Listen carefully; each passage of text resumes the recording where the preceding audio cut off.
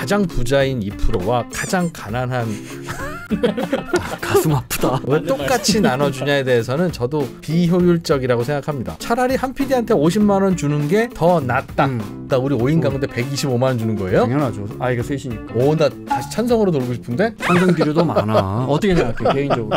그 돈이 정말로 많이 풀렸으면 사람들이 막 그 돈을 쓰면 소비 진작에는 효과가 있는 거지. 대신 그게 돈이 계속 돌면서 거래되면서 이게 인플레이션을 불러와요. 그 돈이 잠겨버려서 안 쓰면 소비 진작에 효과가 없고 소비 진작에 효과가 없으면 인플레이션도 안 생겨요. 근데 우리 언론 일부 언론은 소비 진작 효과도 없고 인플레이션만 불러올 거래. 아 진짜 이런 엉터리 기사 쓰는 이런 기사가 없고. 어딨어?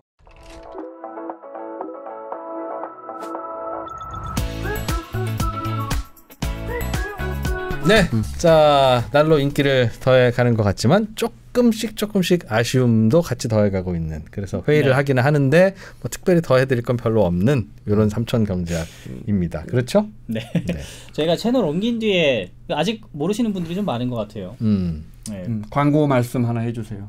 혹시 우연히 이 영상 보셨다면 저희 위즈덤 칼리지 채널 구독도 좀 부탁드립니다. 삼촌경제학 계속 여기서만 업로드 되거든요. 음. 어, 3프로 본 채널에서 어, 여기 왜 안 올라와 라고 생각하셨다면은 이제 이 채널에서 꾸준히 네. 보시면 됩니다. 저희가 팔려왔어요, 사실은. 오늘은 25만 원 지원법, 전국민 25만 원 지원법 따끈따끈하죠. 음. 네. 술자리에서 대학 동창들끼리 잘못하면 싸움 날 수 있는 주제. 요거는 미리 예습 안 하고 지식 없어도 얼마든지 네. 할수 있는 얘기라서 그냥 네. 본인 핫합니다. 이야기 좀 하겠습니다. 네. 25만 원 핵심은 뭐예요? 25만 원을 전 국민에게 쥐어주자는 야당 법안. 네. 정부는 거부권 행사할 가능성이 높은데 네. 이 법안의 핵심은 뭐예요? 내가 받을 수 있느냐지. 아, 보편이냐 선별이냐. 아니 그, 그 그런 건 이제 네 번째 다섯 번째 문제고요. 준다는데 왜? 받겠지. 주면 받겠지. 나 내 관심사는 내가 받을 수 있을까? 아니 그 법안 내용이 뭐예요? 전 국민한테 다 주는 거예요? 전- 아니면 전- 전 국민한테 주는 거지. 그럼 받겠지. 대, 구- 대한민국 네. 국적 없어요? 아니 근데 이제 여야가 협의해서 음. 어, 여야가 협의해서 이제 정부가 안 한다고 거부권 하면 이- 뭐 국회가 통과시켜 봤자 아 그렇죠. 다만 이제 음. 그런데 예, 그렇지. 근데 이제 야당이 하자고 하는 그 안은 어떤 장점과 어떤 단점이 있는지. 음, 우리, 뭐. 음, 이건 정말 정답이 없는데 우리가 특히 경제적 논의를 할 때 정치적인 건 싸운다고 하지만 진짜 아쉬운 게 꼭 드리고 싶은 말씀이 경제는 답이 없어요.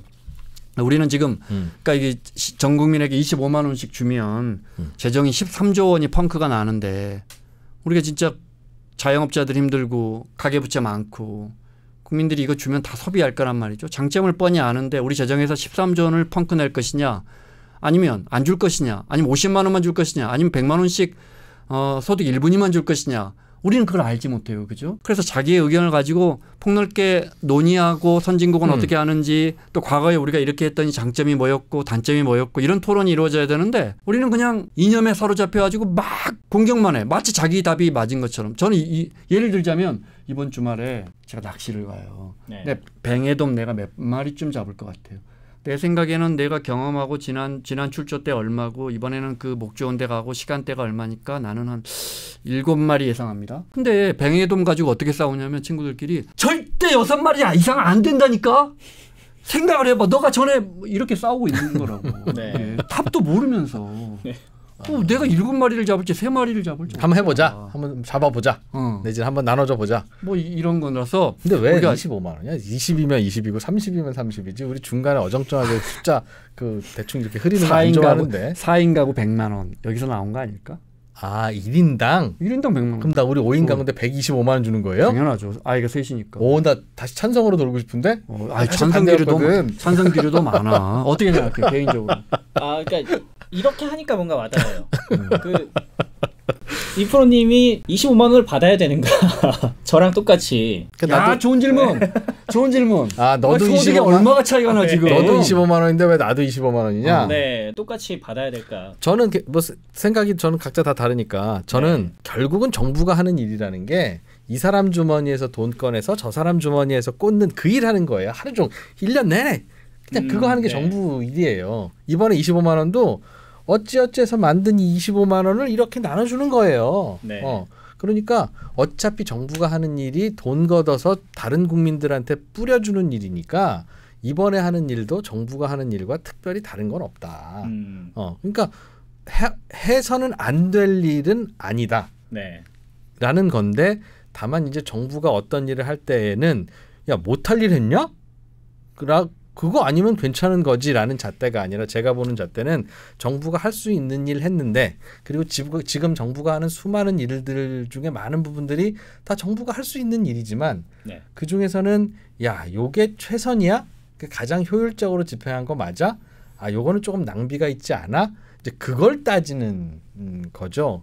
그러니까 그걸 따지는 눈높이에서 보면 그거를 왜 전 가장 부자인 2%와 가장 가난한 아, 가슴 아프다. 아, 어, 이거 왜 맞는 똑같이. 나눠주냐에 대해서는 저도 네. 그거는 한 PD가 2, 2% 나이 되면 네. 훨씬 더 좋아질 거예요. 비효율적이라고 생각합니다. 그러니까 나눠줘서는 안 될 일까지는 아니지만 정부가 하는 일이라는 게 원래 이쪽에서 물 퍼서 저쪽으로 물 뿌리는 일이니까 할 수는 있으나 효율적이지 않다. 음. 효율적이지 않다.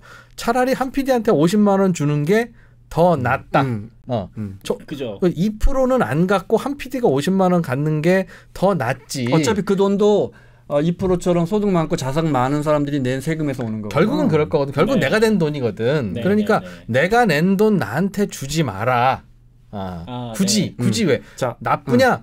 아, 나쁠 것까지는 아닌데 비효율적이다. 음, 네. 하나만 한 거다. 음, 하나만 자, 한 거다. 음. 근데 이렇게 생각하시는 분들이 많고 사실 내가 계속 이야기하지만 이게 정답일 것 같아. 내 생각도. 네. 그런데 사실은 경제학에 이제 2% 너무 잘 알지만 경제학의 오랜 논쟁이야. 왜 오랜 논쟁일까? 정답을 모른다는 소리야. 이걸로 경제학자들이 먹고 살아.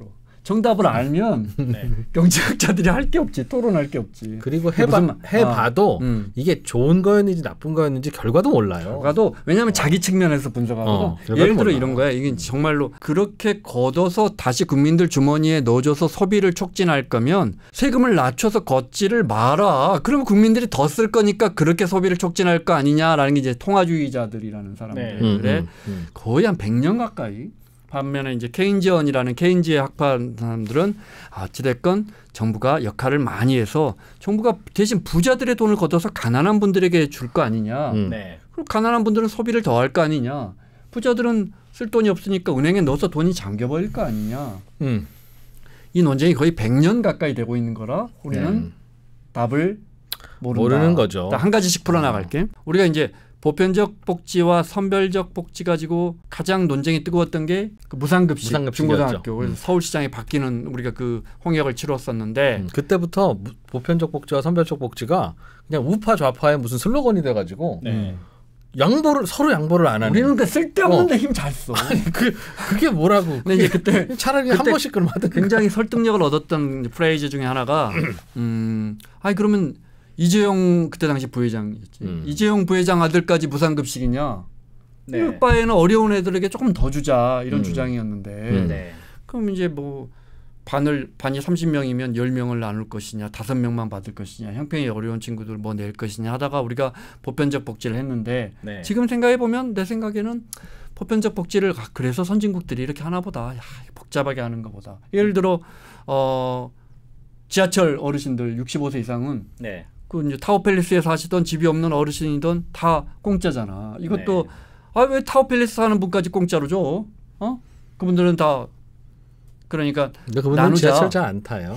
그러니까 그래서 그래서 할 수 있는 일이에요. 아니, 네. 그래서 그런데 이거 일일이 나, 나, 나누면 네. 어, 그렇게 하는 게 정말 좋은 것이냐라는 논쟁은 있고 네. 해 보니까 좀 그래 선진국들이 보편적 복지를 하는 이유는 알겠다. 여기까지 나와. 네. 여기까지 나와. 자 결론 아, 정일 저 정리를 하자면 그래서 참 구분하기 쉽지 않고 어디까지 구분한다고 쳐도 참 기준점이 모호하긴 하지만 그래도 음. 상당수의 사람들은 그래도 예산이 13조나 들어간다면 그 돈을 차라리 어려운 분들 뚝 잘라서라도 나는 못 받아도 좋아. 네. 어려운 분들 주자. 이런 주장도 설득력이 있지. 보편과 그 선별 지급은 지금 보편적으로 그 다 이제 무상급식 하는데 네. 지금 우리나라 안 망하고 어, 무장공비 안 쳐들어오잖아요. 네.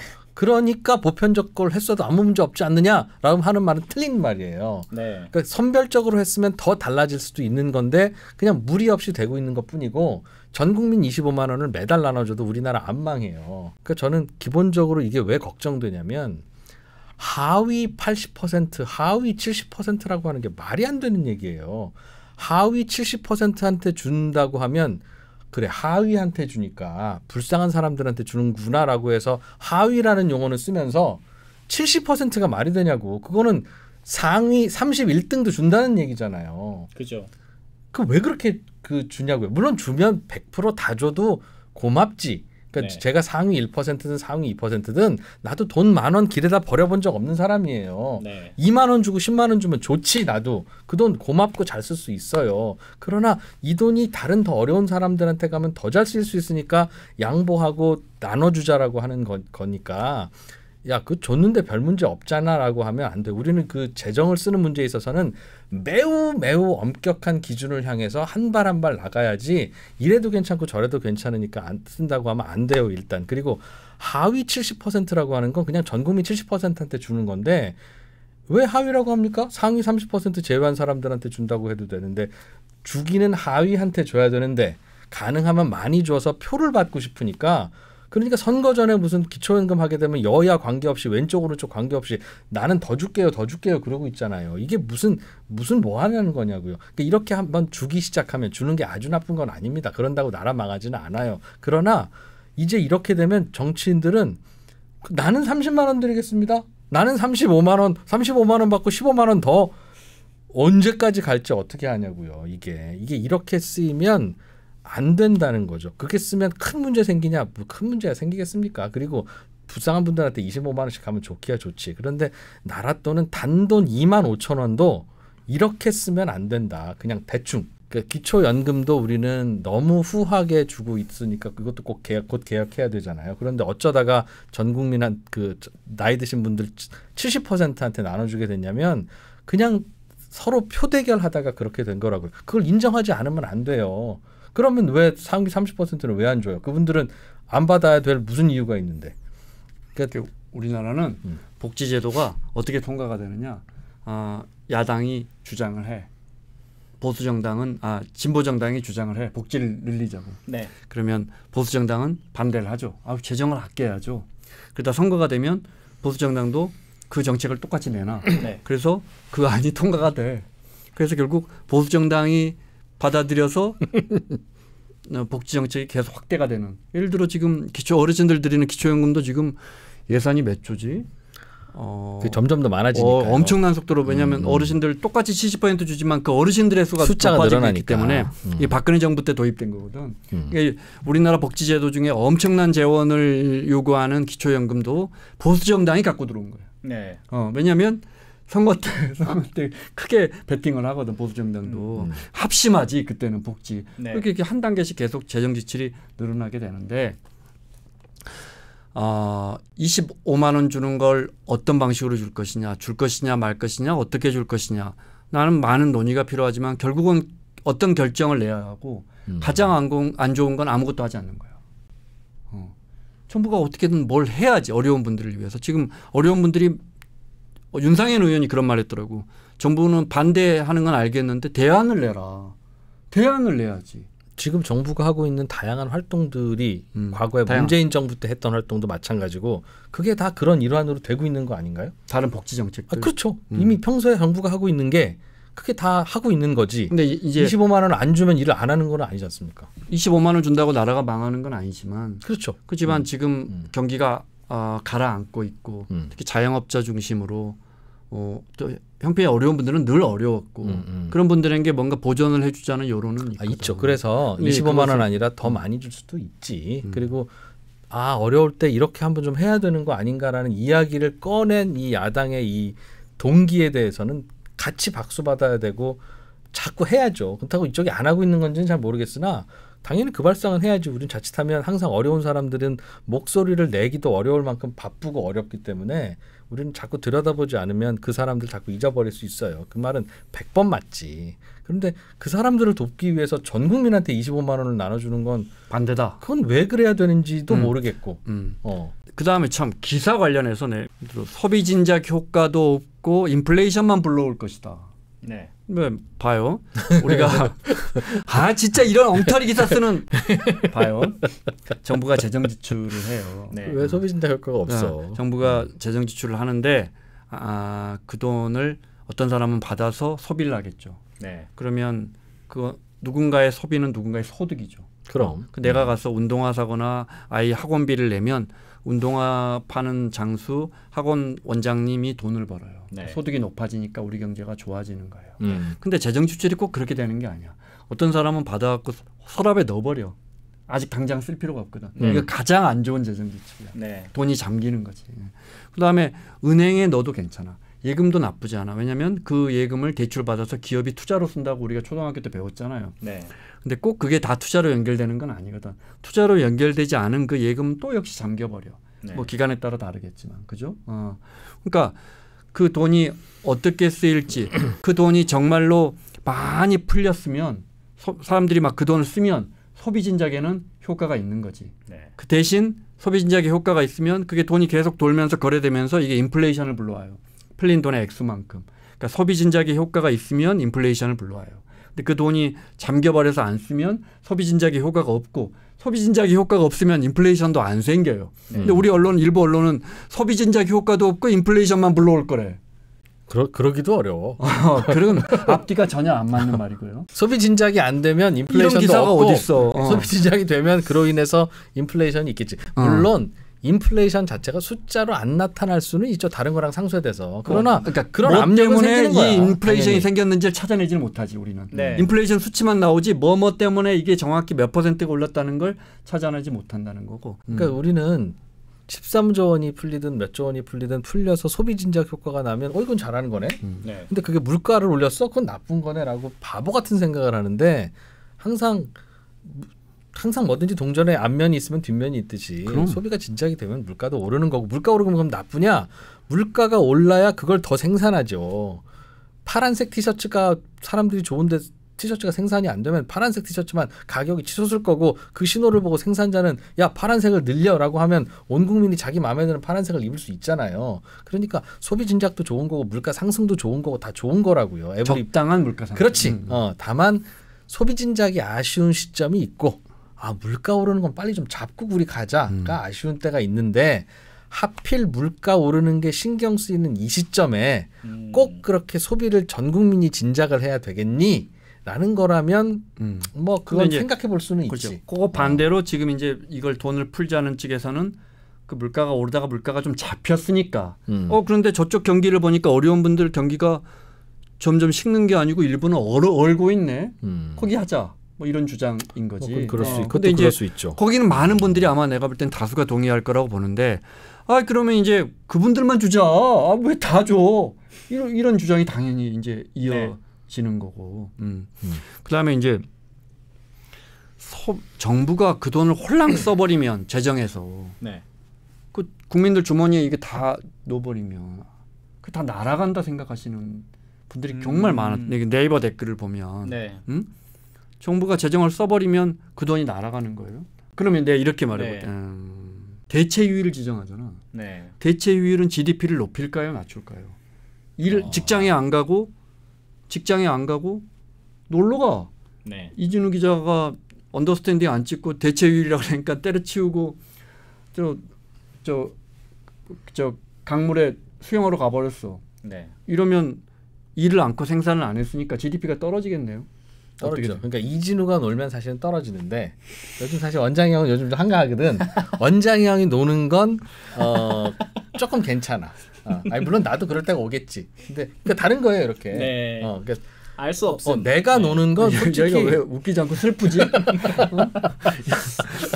어, 그러니까 내가 노는 건 내가 또 놀아도 밖에 강, 강물가 강가에 가서 치킨 시켜 먹겠지. 음, 네. 돈을 쓰겠지. 그러나 내가 언더스탠딩을 안 하고 삼촌 경제학을 안 하고 가서 치킨 시켜 먹는 건 이 플러스 마이너스 생각하면 이 마이너스가 커요. 음, 근데 그렇죠. 원장이 형은 어차피 할 일이 없으니까 강물에 와서 치킨이라도 시켜 먹는 게 도움이 돼. 그러니까 이 대체 공휴일은 네. 그런 모든 게 막 섞이는 거예요. 그러니까 쉽게 말하면 하루에 이진우의 생산 유발 효과 이진우 2%가 일할 때 생산 유발 효과가 100이야. 네. 근데 이진우가 쉬면서 나가서 소비한 것도 그것도 음. 누군가의 소득이 되니까 GDP를 그만큼 올린다고. 네. 근데 소비를 67만 원어치만 해버리면 이거는 이제 우리 성장의 마이너스인 거지. 네. 그런데 김 원장은 15만 원 정도 생산 유발 효과를 갖고 있는 사람이야. 하루 음. 노동으로. 네. 음. 어, 근데 나가서 30만 원을 쓴다고 오늘 일 않고. 네. 그럼 이거는 이제 차라리 대체 공휴를 지정하는 게 낫다. 음. 그래서 현대경제연구원 연구를 보면 우리가 하루 대체 공휴일 지정했더니 한 9천억 정도를 소비하더라. 근데 그게 그 소비에서 그것을 번 사람들이 그걸 갖고 또 쓰고 그게 투자로 연결될 거 아니야. 그지? 네. 그게 결국 기업으로 흘러 들어가고 미용실 하는 사람이 그 돈 벌어 가지고 나 이번에 아, 의자 새 걸로 바꿔야지. 이게 투자거든. 어? 기업이 돈 쓰는 걸 투자라 그랬잖아. 이렇게 투자 유발 효과가 거의 4조 원에 가깝다. 네. 9천억 쓰는데. 그러니까 대체 그 공휴일이 돈 쓰고 돈 날리는 것만은 아니다. 네. 음. 그러면 아이 그러면 대체 공휴일 한 200일 하지 200개 뭐. 만들지 뭐. 한 200일. 그러니까 계속 말하잖아. 경제는 답이 없지만 그 균형점을 찾아가는 학문이에요. 음. 네. 어, 대체 그러니까- 공휴일의 그 경제적인 효과도 음. 이 설명이 맞는데 음. 이상하게 대체 공휴일을 한번 쓰고 나면 나머지 남은 날들에서 소비가 줄어요. 즉 월드컵의 경제적 효과, 야 치킨 몇 마리 팔렸고 맥주 몇 음. 마리 팔렸어. 네. 그 곱하기 여기에다 양계장들이 그것 때문에 설비 늘리고 씨막 그 있으나 네. 월드컵에 치킨 먹고 그렇게 한번 신나게 놀면 그 다음 달 휴가 때 잘 안 가. 음, 왜냐면 지난달에 좀 스트레스 이거- 풀었거든. 이거 어제 물놀이 갔다 왔잖아. 갔다 왔거든. 그러니까 그건 결국은 평탄화돼요. 네. 그러니까 미래 소비를 그냥 당겨다 쓰는 정도일 수도 있다는 거라고요. 모를 일이에요. 모를 뭘 일. 모르는 일이에요. 예를 모를 들어 일이에요. 어. 내가 그날 하루를 쉬었어. 네. 그날 하루를 쉬어가지고 아무 소비도 안 해버렸어. 일은 않고. 네. 그 이거 우리 경제 손해잖아. 그런데 그날 쉬어가지고 아플 걸 안 아팠어. 그래가지고 한 달간 입원할 걸 네. 입원 안 하게 된 거야. 하루 쉬어가지고. 네. 우린 이걸 측정하기가 아주 어려운 거지. 그런 바람에 병원이 망할 수도 있지 또. 어. 그러니까 이걸 모르니까 전 세계 경제학자들이 어, 경제에 가장 좋은 건 1년에 176일 쉬는 겁니다. 이렇게 말 못하는 거라고. 음. 우리는 모른다. 네. 어, 바꿔 말하면 여기 이 정부의 이제 이런 25만 원 지출을 정부의 이제 소비성 지출이라고 하는데 네. 이제 여러 통계와 분석 학자들이 얼마나 이걸 많이 하겠어. 정부가 공무원들에게 월급을 주거나 어디 다리를 새로 건설하면 그 돈이 흘러 흘러 흘러 국민들 주머니에 가지. 네. 근데 이런 소비성 지출은 갖다가 이렇게 집어 돈을 집어 넣어 주는 건데 음. 어떤 게 더 생산 유발 효과가 있을까? 개인의 소비성 지출 또는 뭐 수출 또는 투자보다 네. 오히려 정부의 이런 소비성 지출이 더 생산을 유발한다. 이런 연구도 많이 있다고. 음. 생산을 유발한다는 건 일자리를 만든다는 거. 일자리를 만든다는 건 소득이 생겨난다. 소득이 생겨난다는 건 소비를 진작한다는 거. 네. 그러니까 이게 이 사람 말 듣고 저 사람 말 듣고 다 다르고 분석마다 다 다르기 때문에 네. 정부의 소비성 지출은 아 돈 날리는 거야. 아우 또 13조 원을 또 날려. 이렇게 보는 문제는 아니라는 거죠. 음. 그렇죠. 그러니까 뭐 언제는 13조 원을 아끼는 게 맞는 때도 있고 음. 언제는 26조를 써야 될 때도 있고 똑같이 13조를 쓰려면 이런 곳에 쓰는 게 맞지도 있을 수 있으니 음. 사실 everything and nothing은 아닌데 다만 nothing이 아니라는 이유로 좀 해도 되지 않냐라고 하는 건 그건 정부 예산을 쓰는 그 이른바 하, sincer이티라고 합니까? 거, 거기에서 좀 어, 기준을 좀 더 엄격하게 만들어야 된다는 차원에서는 좀 다르다. sincerity라고 하면 신뢰도 어, 그러니까 정부 예산은 네. 그런 식의 대충 대충 뭐 좋은 일도 있고 나쁜 일도 있고 한데 한번 이렇게 써봐 라고 할 수 있는 건 아니다. 그리고 제가 걱정하는 더건 정교해야 한다. 음. 이번에 네. 25만 원 다 나눠준다고 해서 뭐 그리 큰일 벌어지는 것도 아니고요. 우리나라 네. 망하지도 않고 어, 안 나눠주는 것과 비교하면 좋을 수도 있어요. 그, 그뭐 다양한 긍정적인 효과도 있을 수 있으니까. 그런데 분명히 이러면 다음번에도 30만 원 할 때도 또 나눠주자 그러고 또 나눠주자 그러고 야 잠깐만 좀 우리 따져보자 그러지 말고 이 어려운 분한테는 72만 원을 드리고 요 분들부터는 조금 덜 드리고 요렇게 한번 따져보자라고 하는 얘기들이 아니 뭐야 지난번에도 25만 원 나눠주고 뭐 별일 없었고 좋아졌다며 그런 식으로 자꾸 뭉개질까 지난번에 다 같이 봐. 좋았잖아. 어, 뭉개질까 봐 그렇게 되면 이제 표풀리즘이 막 겹치기 시작하고 해서 그거 그거 무너지는 게 싫은 거지 네. 이번에 25만 원 나눠주면 뭐 그렇게 큰 일이 일어나는 거는 아닐 그렇죠. 아니에요. 다만 아주 중요한 문제. 어, 원칙과 기준은 항상 그 선례에 따라서 만들어지기도 하는데 정말 한번 생각해 보자고 똑같이 다 나눠주는 게 우리가 선택할 수 있는 베스트 초이스인지 이거는 어 이런 식이라도 해서 자꾸 어려운 사람들을 음. 배려하고 찾아봐야 된다고 하는 그 발상과 시점에 대해서는 박수. 네. 그거는 어 만약 빨간 당이 그 생각 못 하고 있었으면 야 너 또 봐야지 봐라. 쟤는 저런 거라도 갖고 오잖아. 넌 뭐 하고 있어? 네. 라는 얘기 할 수 있지. 우리는 항상 배려해야 되는 건데 그게 베스트인지는 항상 생각해 봐야 되는 거죠. 음. 네. 자, 그래서 내가 주장하는 바는 어떤 경우에서도 나는 열려 있어요. 나만 준다면 25만 원 이상 준다면 저는 음. 좋은 정책이라고 봅니다. 그리고 저도 25만 원씩 나눠주는 줄 알았어 한 가정에. 그래서 아, 아, 아, 네. 그거야 뭐야 진짜 치킨 몇 마리구나 생각했구나. 생각하기도 해서 야 요거는 좀 나쁜 정책이다라고 생각했는데 음. 1인당 125만 원에서 우리 집에 125만 원이 온다고 생각하니까 내가 100만 말을 원. 함부로 할 게 아니구나 지금 100만 원. 그런 생각은 드네. 자, 어떻게 생각해요? 어떻게 했으면 좋겠어요? 결론적으로 이제 저 모호하게 답하지 말고 네. 정부가 어떻게 했으면 좋겠어요. 어 아까 그 시기에 따라서 재정 지출을 할 때가 있고 아닐 때가 있다. 음. 이 말이 제일 인상적이었던 것 같아요. 지금 코로나 시기는 다 같이 어려운 때고 소비를 안 하는 그런 때고 하니까 돈을 풀었던 거는 되게 납득이 되는데 지금 상황에서는 이걸 해야 되는 게 맞을까 라고 했을 때 어, 지금은 아니다 이렇게 생각하는 거예요. 안, 안 받아도 된다. 아, 좀 의문을 가져야 될 것 같다 라는 생각이 어, 좀 듭니다. 가져야 할 재정을 의, 걱정하는 가정 그러니까 재정에 대한 걱정의 문제가 아니라 네. 음, 우리는 항상 요즘은 소비가 너- 너무 죽어 있지 않습니까?라고 할 때 항상 그렇지. 그러니까 그 언제 물어도 어려운 분들은 어려워요. 네. 우리 경기 좋았던 적이 어디 있습니까? 기사 검색하면. 근데 다만 그러니까 이제 수시로 계속 이렇게 경기를 진작하는 정책을 쓰는 것도 맞는데 이게 하늘에서 떨어지고 안 쓰면 버려지는 돈이 아니라 누군가의 주머니에서 뽑아서 써야 되는 돈인데 네. 안타까운 일은 그 누군가의 주머 뽑히는 주머니라는 게 의미 없이 쌓여만 있는 돈인 경우도 있지만 우리가 뽑아서 썼기 때문에 우리가 안 뽑아 썼으면 얘가 뭔가 하려고 했던 더 어떤 좋은 일이 투자로 이어질 수 있었는데. 그렇죠. 음. 이거는 그냥 쓰고 소비가 진작되고 나면 다시 한번 쭉 다시 가라앉을 가능성이 높은 소비예요. 네. 어, 물론 그 진작 효과도 있고 있지. 그리고 대체로 우리 소비가 그런데 누군가는 그런 돈 안 가져갔으면 요거 모아서 무슨 창업을 한다든가 무슨 뭔가를 만들어서 계속 돈벌이가 되는 어떤 엔진이 만들어졌을 수도 있, 있다는 거죠.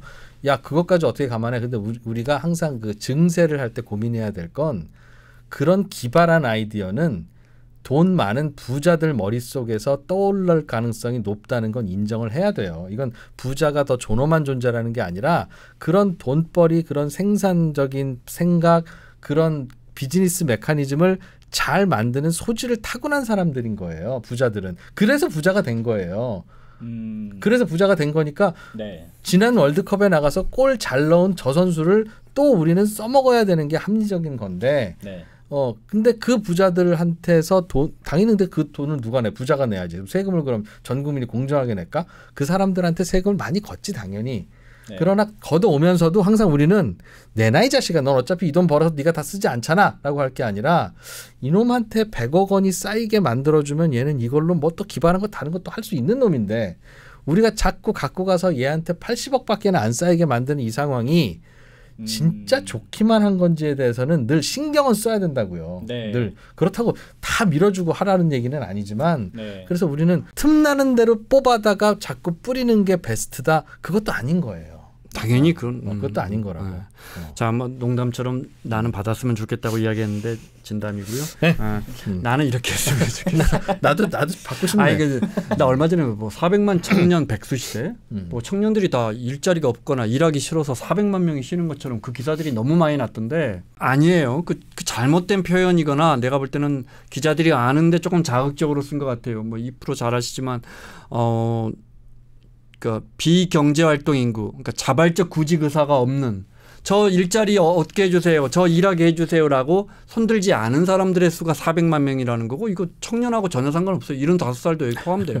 그리고 여기에는 이제 그, 그 유명한 비자발적인 예를 들어 주부, 학생, 대학생, 군인 음, 다 음. 들어가는 거예요. 이게 400, 음, 음. 네. 400만 명이고 실제로 이것저것 다 빼면 100만 명도 안 될 건데 그러니까 이런 엉터리 기사 쓰면 안 되고 나는 이 일, 이 이야기 왜 했냐면 일하는 청년들 중에 어르신들은 기초연금이 있으니까 만약에 이 돈을 집행한다면 청년들 중에 소득 하위 몇 퍼센트에게는 찔끔찔끔 주지 않고 한 번 진짜 준다면 100만 원 정도는 최소한 그리고 이걸로 연애했으면 좋겠어 이 돈으로 물론 이걸 규제할 수는 없지만 우리가 아. 연애만 쓰지 이게 어쩌면 가장 생산적인 게 아닐까 아, 이- 이- 연애처럼 네. 지금 우리 사회가 정말 필요한 게 없거든 농담이신지 아닌지 정- 모르겠습니다. 진짜 아니, 이게 농담으로 받아들여지면 안 돼.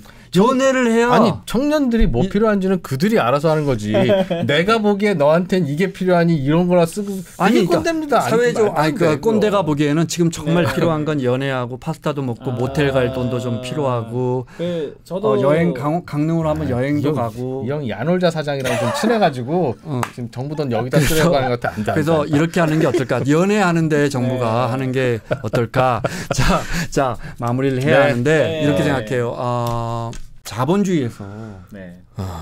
돈이 아주 많은 사람과 돈이 정말 없는 사람의 공통점이 뭔지 알아요? 드러나지 않는다예요. 아, 드러나지 않. 않는다. 돈이 1조 원이 음. 있는 사람도 길 가다가 이렇게 드- 드러내지 않고 네. 당장 오늘 아이 학비마저 어, 아버지가 사- 교통사고가 나서 정말 이 돈마저 사라질 지경에 있는 사람도 그걸 막 드러내지 않아요. 다만 사라질 뿐이에요. 네. 동창회 안 나오고 성, 성, 성당에 안 나오고 사라질 뿐이고 네. 국가는 이들을 국가 가 어떻게 다 책임져요. 하지만 한 명이라도 줄이고 보살필 의무가 있어요. 야당이 제가 볼 때 이건 툭 던져놨거든요. 정말 25만 원. 굉장히 포퓰리즘이에요. 툭 네. 던져놨는데 꼭 그래서 안 됩니다라고 하는 건 정부가 아닌 거죠. 정부는 답을 찾아야 돼요. 그게 좋은 답이든 안 좋은데 최선을 다해서 논의하고 설득해서 답을 찾아야 돼요. 그게 정부의 역할이지. 저는 그래서 그런 부분이 좀 정부가 미흡하지 않는가. 25만 원 이 논쟁에서 단순히 거부권만 행사하면 끝나는 건가? 음. 어, 이 부분 한번 생각해봤으면 좋겠어요. 네. 저는 바람이 어, 그 25만 원 주는 것도 그냥 좀 이런 토론을 좀 하자. 음. 어, 토론 사실 뭐 우리 공통 분모는 하나도 없었잖아요, 사실은. 그러나 반대하면 어떤 점 때문에 반대가 이렇게 되고 찬성하면 어떤 점 때문에 찬성이 되고 그럼 찬성하는 이 의견에서 뭘 뭐는 좀 양보할 수 있고 여기서는 뭘 좀 받아들일 수 있는지 네. 좀 얘기 좀 하자. 어, 나 지금 생각났는데 음. 35세 이상이 모텔로 가면은 정부가 50%를 재정 지원하면 어떨까? 어 이런 좋은 생각을 저출산 아. 위원회 대통령직 사나 거기인데 물어봐야겠다. 여기서 클로징을 하겠습니다. 그러면 어. 저 이제 33살 연애 안 하는 청년인데 연애 안 하는 이유는 돈 때문이 아니다. 그래. 네. 왜 근데 왜 안 해요? 왜? 그런 거 물어보는 게 꼰대야. 그런가? 아나 꼰대. 그게 궁금해서. 삼천경제학 25만 원 논쟁 여기서 네. 마무리하겠습니다. 고맙습니다. 그거 왜안 하는 무슨 야 근데 그. 야 이거 모텔 25만 원 이 정책은 내가 진짜 여야 정책 아. 의장들한테 이야기해야겠는데?